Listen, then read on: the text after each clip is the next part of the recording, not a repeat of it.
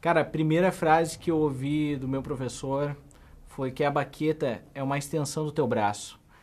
E isso realmente ecoa na minha cabeça até hoje.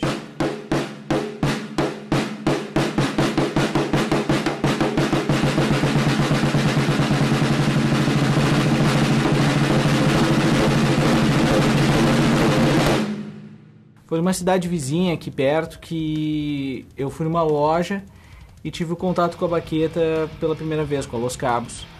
Quando o lojista me trouxe as baquetas, eu realmente fiquei impressionado, assim.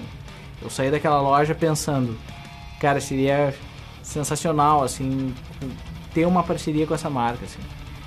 E hoje, felizmente, eu posso dizer que isso é realidade.